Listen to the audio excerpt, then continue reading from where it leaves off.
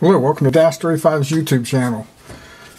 My name is Kevin. Today I'm going to show you the new Mini Educator 300.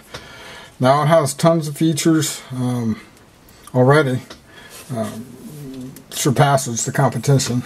But uh, E-Collar Technologies is up the ante on this with a great price point and um, tone. Now we have tone now. So I'm going to show you how to change that.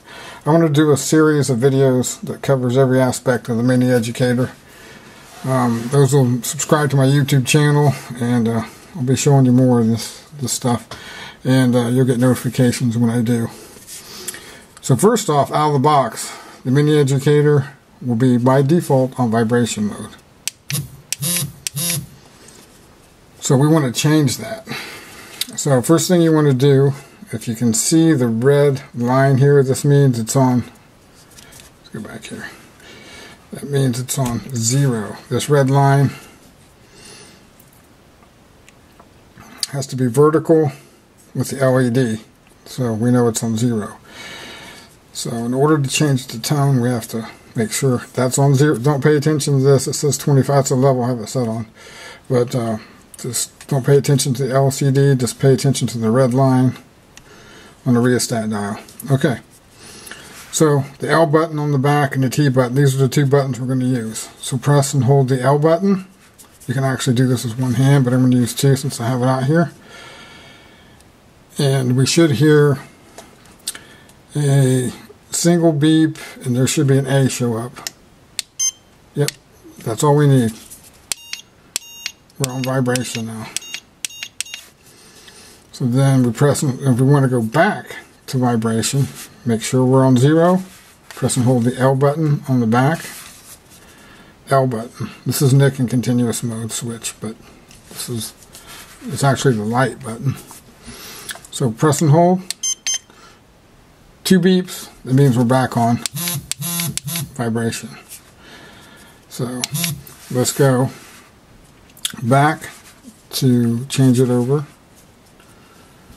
to tone. So press the L button. There we are. So, so if you hold this for 10 seconds, it'll follow with a correction. This is on zero. So when you switch this over, it'll always be at zero. Tone only.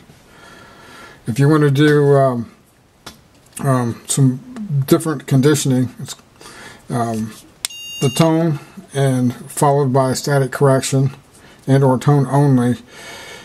These are um, Pavlovian, um, a Pavlovian uh, conditioning, which is similar to when you were a child. I'm old school. I'm old or older.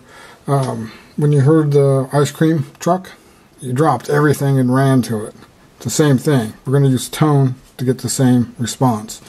Now, for all of you that had cats or have owned cats before and you feed them canned food, you don't even have to call them. All you got to do is break that lid and they're there. We're going to use the same principles with tone to actually um, train our dogs to condition them. Um, so when the tone is set, that's tone only. So I train at, I've got this on 25, I usually train on a 14. So I'm going to hold that after 10 seconds and I'm going to move it up to 14. Let's do 14. I'm going to let off of it. So I can tone all I want. If I get no response, I'll do a static correction, which means I'll hold this for 10 seconds.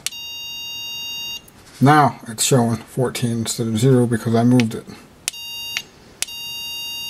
10 seconds, there's a static. Okay, there we go. So this is the tone. Um, easy to change. L button, T button. L button's the light button, T button's the tapping sensation. We're going to switch it back over real quick, make sure it's on zero. L, double, um, tone, vibration.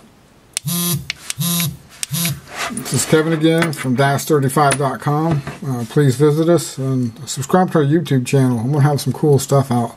I also have some a, a video on durability testing on this. I've ran over it and really abused this, and it, it, not this particular one, but the older one, it still works.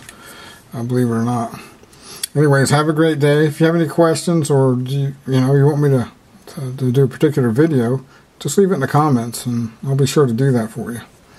Uh, thank you, and uh, have a wonderful day.